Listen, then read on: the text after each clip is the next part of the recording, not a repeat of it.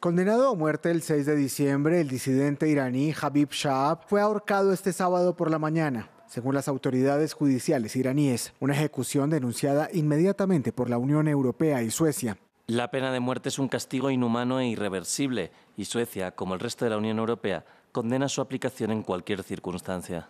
Habib Shahab era el líder del movimiento árabe para la liberación de Ahvaz, un grupo separatista considerado terrorista por Teherán, que opera en la provincia de Khuzestán. La región, hogar de una importante minoría árabe, fue escenario de protestas violentamente reprimidas en 2019. Habib Chahab fue acusado de perpetrar un atentado mortal en 2018. Su confesión, difundida en un video por medios iraníes, fue probablemente obtenido bajo tortura, según grupos de derechos humanos. El opositor que vivía en Suecia fue secuestrado en Estambul durante un viaje privado en octubre de 2020 y permaneció en cárceles iraníes desde entonces.